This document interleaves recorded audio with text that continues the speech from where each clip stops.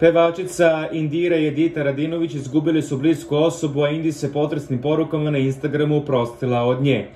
Tužne vesti o tragediji otkrila je Indi koja je podelila nekoliko fotografiju uz emotivne poruke. Putuj sa anđelima seko naša najdraža, mirno spavaju, osmihu moj lepi. Žao mi je što te nisam pozvala onda kad si me mislima dozivala pre neki dan, napisala je Indi uz jednu od fotografija. Duša žene bila si ti, dodala je pevačica.